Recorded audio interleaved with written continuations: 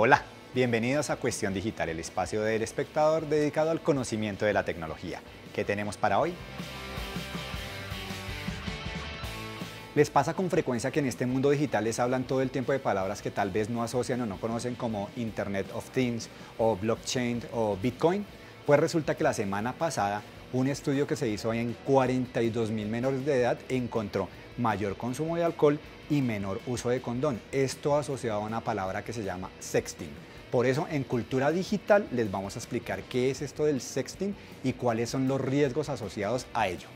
El sexting es una práctica común en Internet que consiste en el envío de videos personales con algún de videos o imágenes personales con algún nivel de contenido íntimo o sexual.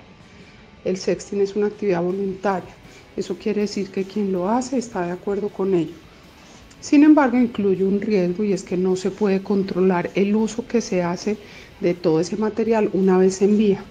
Por lo tanto, hay gente que lo usa malintencionadamente y puede exponer a la persona que es titular de esa imagen o ese video en redes sociales o extorsionarla o manipularla.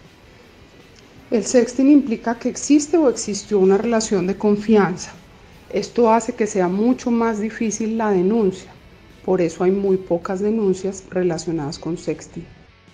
Los usuarios digitales que no están en la oficina y necesitan estar conectados todo el día saben que necesitan cumplir con dos cosas. Una, con una buena red de datos y dos, con una buena batería.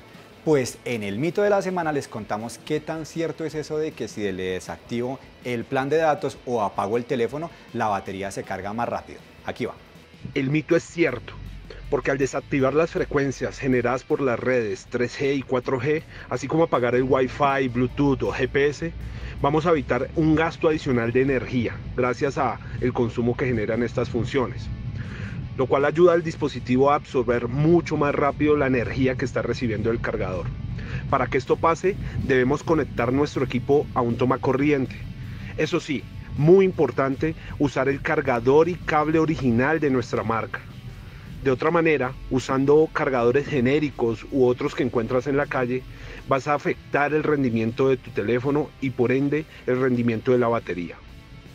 En Bogotá, Colombia, más de 800 mil personas se mueven a diario en bicicleta. La decisión la han tomado porque son cada vez más los trancones y porque algunos quieren no contaminar y dejar el carro en casa. Por eso, el recomendado de la semana es una aplicación que les ayuda a registrar su bicicleta y tratar de combatir el robo, pues lamentablemente, así como suben los usuarios, también están subiendo las tasas del crimen. Se llama biciregistro.com y se creó para toda Latinoamérica. Lo primero que hay que hacer es ir a esta parte que dice login y registro. Luego a Regístrese y llene todos los campos.